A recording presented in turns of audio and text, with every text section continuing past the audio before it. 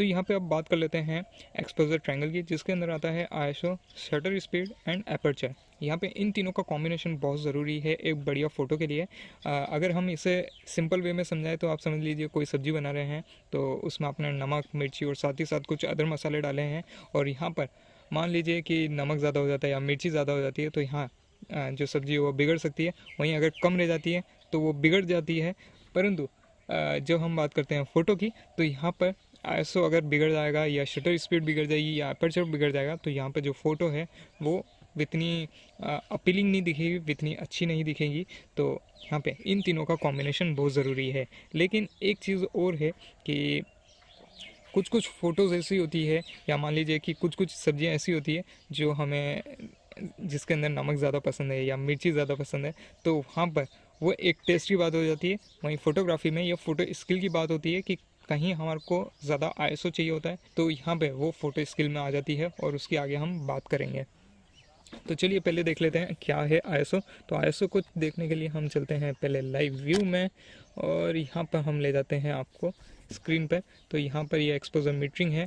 अगर नीचे जाएगा नेगेटिव में तो अंडर एक्सपोज है, ऊपर जाएगा तो ओवर एक्सपोज ये बताएगा और अदर आप चीज़ें देख ही सकते हैं। तो चलिए आई पे जाते हैं। हमारी प्रेफरेंस होती है ऑटो ऑटो से निकलते हैं अभी और आपको दिखाते हैं कि किस तरह से ये वर्क करता है। तो जैसे ही हम हंड्रेड पे गए तो हमारी फ़ोटो जो है बैकग्राउंड जो है वो अंडर एक्सपोज दिखा रहा है। और यहाँ हम जैसे जैसे आईएसओ को बम करेंगे तो यहाँ पर आप देख सकते हैं, जो लाइट सेंसिटिविटी है, वो बढ़ती जा रही है, बढ़ती जा रही है, बढ़ती जा रही है और बढ़ती जा रही है। और यहाँ पे अब ये सिचुएशन आ गई है कि फ़ोटो इतना ओवर एक्सपोज हो चुका है कि अब जो सामने का ऑब्जेक्ट है, वो ही गायब हो चुका है। तो यहाँ पे हम इसे फ़ोटो से समझाते हैं। तो यहाँ पर आप देख सकते हैं, ये कितना ओवर एक्सपोज है और यहाँ पर जो नॉइज़ है वो कितनी आ चुकी है, साथ ही साथ जो क्रिस्पनेस है वो भी ख़त्म हो चुकी है। तो आप जितना हाइयर आई पे जाएँगे वितनी आपको नॉइज़ वितनी ही कम शार्पनेस आपको मिलेगी।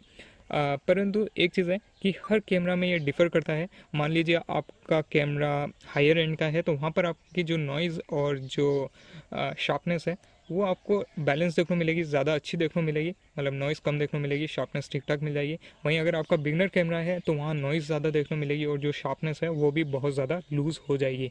और इस टाइप के कैमरा में ओवरऑल ये ठीक ठाक से बैलेंस कर लेता है। तो सारा गेम है कैमरा बॉडी और सेंसर का। तो किस तरह से यहाँ पर आपकी कैमरा बॉडी और सेंसर है, वो किस तरह से वर्क करता है, वो आपको देखना होगा। तो यहाँ पर हम और फ़ोटो दिखाएँ। तो ये फ़ोटो है अंडर एक्सपोज और यहाँ पर आप देख सकते हैं क्रिस्पनेस तो छोड़ी दीजिए, कुछ दिख ही नहीं रहा है। परंतु यहाँ नॉइज़ जो है वो कितनी कम है, और यहाँ आप देख सकते हैं एक एक मसाला गड़बड़ हुआ और सारी चीज़ें यहाँ बिगड़ गई। वहीं एक मसाला ज़्यादा हुआ तो सारी चीज़ें बिगड़ गई। अब यहाँ पे एक परफेक्ट एक्सपोज फ़ोटो दिखाएँ। तो यहाँ पर आप देख सकते हैं सब बढ़िया है, परंतु यहाँ थोड़ा ब्राइट बता रहा है। परंतु ओवरऑल तब भी देखेंगे कि यहाँ फ़ोटो जो है वो बहुत अच्छी आई है। नॉइस तब भी कम है और शार्पनेस जो है वो ज़्यादा अच्छी देखने को मिल रही है। तो आईएसओ इस तरह से वर्क करता है और आईएसओ एक आर्टिफिशियल वे है आपकी फ़ोटो को ब्राइट करने के लिए। तो ये है आई और हम कहेंगे, हमारे प्रेफरेंस तो यही है कि आप आई मोस्टली ट्राई करें कि ऑटो पे ही रखें। तो चलिए इसे ऑटो पे रखते हैं। अब चलते हैं हम अगली चीज़ की तरफ़ जो है अपर्चर तो अपर्चर एक तरीके से कह लीजिए कि लेंस में वो आँखें हैं जिसकी प्यूपिल्स को आप छोटा बड़ा कर सकते हैं। तो यहाँ पर जब हम बात करते हैं अपर्चर की तो यहाँ पर लेंस से आपकी लाइट आती है सेंसर में और वो फ़ोटो को एक्सपोज करती है और यहाँ पर जब हम f2.8 पर जाते हैं तो यहाँ पर आप देख सकते हैं बैकग्राउंड और फोरग्राउंड जो है, वो आपको पूरा डी फोकस देखने मिलेगा, परंतु जो आपका ऑब्जेक्ट है, वो बढ़िया तरीके से फोकस में दिख रहा है और और बढ़िया लग रहा है। अगर इसे और अच्छे से समझाएँ तो यहाँ पर यही वाली फ़ोटो देखिए। यहाँ पर पीछे का बैकग्राउंड फोरग्राउंड बिल्कुल जो है डी फोकस है, परंतु जो मेन हमने फोकस किया था, वो बढ़िया तरीके से यहाँ फोकस हो रहा है। तो ये देख सकते हैं। वहीं अगर हम इसे बम करके एफ़ थर्टी टू पर ले जाते हैं तो यहाँ आप देख सकते हैं जो बैकग्राउंड है और फोरग्राउंड है, वो ज़्यादा एक्सपोज हुआ है। साथ ही साथ यहाँ पर जो मेन चीज़ पे हम फोकस कर रहे थे, वो भी बढ़िया तरीके से फोकस हुई है। यहाँ पे एक और चीज़ समझाना चाहेंगे कि जब हम एपर्चर को बम करते हैं तो यहाँ पर प्यूपिल्स को हम छोटा कर रहे हैं। तो यानी हम मान लीजिए एफ़ थर्टी टू पर गए तो यहाँ पे जो वो प्यूपिल है, वो कम से कम इतनी हो चुकी है। आप फ़ोटो देख सकते हैं फ़ोटो में आपको ज़्यादा अच्छे से समझ में आएगा। तो कुछ इतनी छोटी हो चुकी है कि अब जो लाइट है, वो सेंसर तक नहीं पहुँच पा रही है और उसके कारण जो फ़ोटो है, वो अंडर एक्सपोज हो चुकी है। तो अब यहाँ पर हमारे को क्या करना पड़ेगा कि हमारे को हमारा शटर स्पीड चेंज करना पड़ेगा ताकि हम यहाँ पर ज़्यादा अच्छे से फ़ोटो कैप्चर कर सकें और बैकग्राउंड फोरग्राउंड साथ ही साथ जो हमारा ऑब्जेक्ट है, वो पूरा हर एक चीज़ फोकस में रहे और ज़्यादा अच्छे से दिखे। तो ये हो गई आपका एपर्चर अभी एपर्चर को हम डाउन करते हैं और ले जाते हैं एफ़ टू पॉइंट एट पर। अब बात कर लेते हैं यहाँ पर शटर स्पीड की। तो शटर स्पीड को जैसे ही आप लो पे ले जाते हैं तो यहाँ पर आपको लॉन्ग एक्सपोजर वाली फ़ोटो मिलेगी कुछ इस प्रकार से। तो यहाँ पर अगर आप चाहते हैं लॉन्ग एक्सपोजर वाली फ़ोटो लेना या नाइट में आप स्टार ट्रेल्स लेना चाहते हैं तो यहाँ पर लोअर शटर स्पीड आपके लिए अच्छी होगी। कुछ इस प्रकार से आप यहाँ पर लोअर शटर स्पीड पर आपको देखने मिलेगा। वहीं जब हम हायर शटर स्पीड पर जाते हैं तो यहाँ पर लाइट में चेंजेस आएँगे, परंतु उसके साथ साथ यहाँ पर क्या होगा कि जो आपका ऑब्जेक्ट है, वो इतना ही फ्रीज होगा। तो मान लीजिए अगर कोई बर्ड उड़ रही है और आप अगर हाइयर शटर स्पीड पर फ़ोटो लेते हैं तो कुछ इस प्रकार से वो बिल्कुल फ्रीज़ हो जाएगा और एक बढ़िया आपको फ्रीज़ वाले मूवमेंट्स मिलेंगे। और जब हम फास्ट ऑब्जेक्ट मूवमेंट की बात करते हैं तो हम कहते हैं कि जितना फास्ट आपका शटर स्पीड होगा, उतना अच्छा होगा। और यहाँ पे जब हम बात करते हैं स्मॉल बर्ड्स की, जैसे सनबर्ड हो गई, और कुछ इस प्रकार से अगर आप फ़ोटो लेना चाहते हैं तो हम प्रीफर करते हैं कि आप 2500 या उसके ऊपर यहाँ पर शटर स्पीड रखिए, ताकि यहाँ पर एक बढ़िया फ्रीज मूवमेंट आप क्रिएट कर सकते हैं। वहीं अगर आप प्ले करना चाहते हैं तो वहीं आप लोअर शटर स्पीड पर जाइए, उसे फोकस में रखिए और देखिए क्या आपको फ़ोटो मिलती है। शटर स्पीड्स के अंदर मैं कुछ और चीज़ों पे यहाँ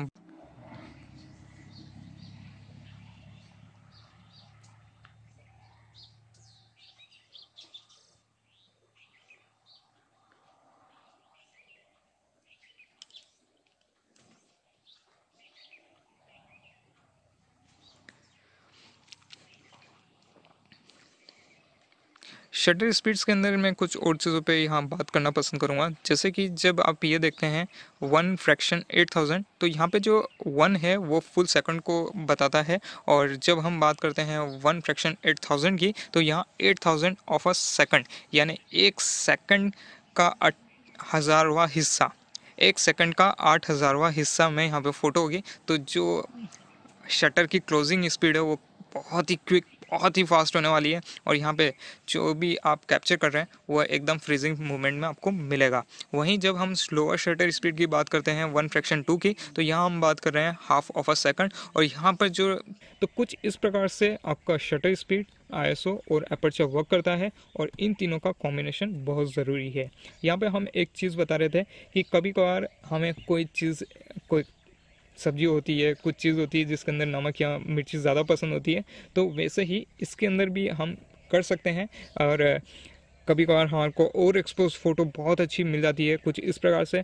वहीं कभी कभार हमारे को लगता है कि आ, अंडर एक्सपोज फ़ोटो चाहिए कुछ इस प्रकार से। तो आसपास का जो चीज़ें हैं वो बिल्कुल अंडर एक्सपोज है और जो ऑब्जेक्ट है वो बढ़िया तरीके से यहाँ पे लीट हो रहा है या बोल लीजिए कि उस पर लाइट पड़ रही है तो कुछ इस प्रकार से आपको सिचुएशन के हिसाब से अपने ISO shutter speed and aperture के साथ वर्क करना होगा। तो बाहर निकलिए कैमरा उठाइए, रोज़ आप पाँच छः फ़ोटो लीजिए और जितना हो सके ट्राई कीजिए कि छोटे ऑब्जेक्ट से स्टार्ट कीजिए, यानी जो छोटी छोटी बर्ड्स हो गई छोटे छोटे एनिमल्स हो गए, उनको कैप्चर करने की कोशिश कीजिए, ताकि आप अपने अपर्चर आईएसओ शटर स्पीड पे यहाँ अच्छे से वर्क कर सकें और उनको सीख सकें।